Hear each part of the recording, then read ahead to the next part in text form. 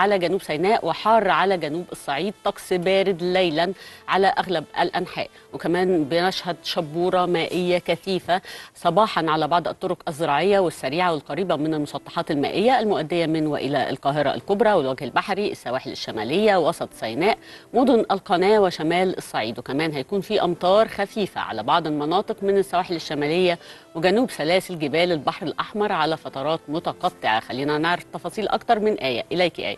الجو فعلا يا أسماء برد شوية عن بداية الشتاء يعني النهارده كمان وأنا جاية الصبح كانت الدنيا بتمطر مطر خفيف كده لكن أجواء شتوية. يعني أنا من أول الشتاء تقريبا ما حضرتش مطر إلا النهارده.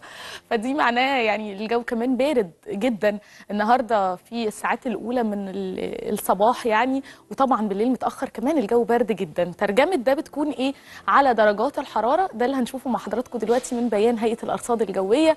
آه، وطبعا البداية من محافظات الوجه البحري القاهرة النهارده بتسجل 19 درجة والصغرى 11 درجة وده هيتقارب مع كل محافظات الوجه البحري حتى العلمين الجديدة كمان أبرد سنة بسيطة يعني فرق درجتين في العظمى والصغرى هتكون 13 آه، لو شفنا بقى اسماعيلية والسويس وبورسعيد ما بين ال 18 وال 19 وبالليل المتوسطات الطبيعية ما أقدرش أقول إن دي أجواء باردة خاصة بالليل يعني عند 12 و14 هي دي المتوسطات الطبيعية من بداية الشتاء.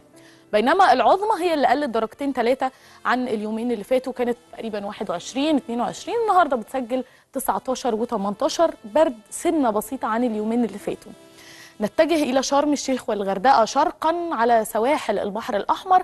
هنلاقيها 22 21 والصغرى 14 ما زالت أجواء دافئة. يعني الشتاء في مصر هو شتاء دافئ جدا و... ومناسب كمان لل... للسياح اللي بيبقوا بلدانهم يعني باردة جدا زي أوروبا مثلا. أوروبا برد جدا السنة دي. وتوقعات بتقول ال- السنين اللي جاية كمان في أوروبا هيكون شتاء قارس البرودة أكتر من كده وهم عندهم مشكلة طاقة كمان. فيعني بندعوهم بقى إن هم يجوا يقضوا فصل الشتاء كل سنة في مصر بالذات شرم الشيخ والغردقة من ال- المحافظات السياحية كمان والسياحة الشاطئية اللي بتمتاز بيها. فبيبقى الجو مناسب جدا إن هم يجوا يزوروا المناطق دي. طبعا آه، الأقصر وأسوان كمان بتبقى لطيفة جدا في التوقيت ده من السنة. هنروح لها دلوقتي ونشوف فيها درجات الحرارة كام النهارده بس الأول نبص على مدن الصعيد المنيا وأسيوط ما بين ال 19 وال 20 الصغرى فيها هتكون 8 درجات والفيوم والمتوسطات الطبيعية كلها سانت كاترين بالليل برد شوية 3 وده برضو العادي بتاع سانت كاترين. الأقصر وأسوان اهم عند 21 والصغرى هتكون 10 و11 والوادي الجديد برد النهارده جدا بتسجل 7 درجات ربما هي الأبرد بعد سانت كاترين النهارده آه، في كل محافظات مصر الوادي الجديد النهارده 7 درجات أجواء باردة جدا لكن الظواهر الجوية المختلفة بقى عايزين نطمن عليها زي الأمطار زي الشبورة.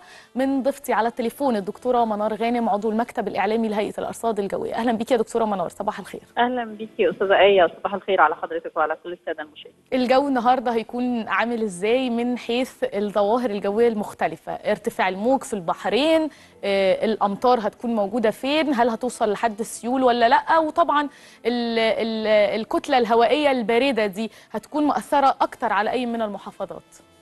آه، هو بالفعل خلينا نقول إن درجات الحرارة بدأت تنخفض وإحساسنا كمان ب يعني درجات الحرارة بدا نحس بالأجواء الشتوية بشكل كبير لأن مصادر الكتل الهوائية بالفعل قادمة من مناطق منخفضة بشكل كبير في قيم درجات حرارتها الكتل الهوائيه قادمة من جنوب أوروبا.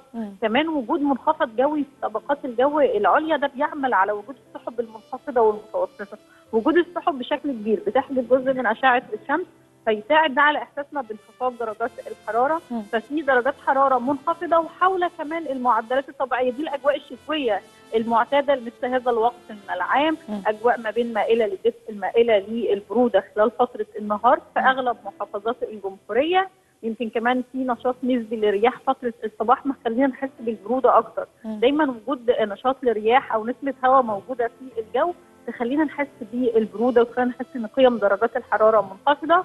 كمان فترات الليل أكيد مع غياب أشعة الشمس الشام بيكون في مزيد من الانخفاض في قيم درجات الحرارة الصغرى فترة الليل ما بين ال 10 وال 12 درجة مئوية في المناطق م. الشمالية محافظات الصعيد 7 و8 درجات وأحيانا بتوصل كمان. لست درجات في بعض. الأماكن م. أجواء شديدة البرودة فترة الليل بشكل. كبير خاصة في فترات الليل المتأخر اللي هي وقت الفجر صحيح. ووقت الصباح وده الباكر. ده إحنا شعارين بيه يعني يا دكتورة منار إن إحنا بننزل الصبح بدري الجو برد جدا بالليل الجو بيبقى برد جدا ما بينهما بقى وأثناء سطوع أشعة الشمس الجو بيبقى دافئ ولطيف ومناسب لكل الأنشطة الصباحية بشكرك شكرا جزيلا دكتورة منار غانم عضو المكتب الإعلامي لهيئة الأرصاد الجوية على هذه التفاصيل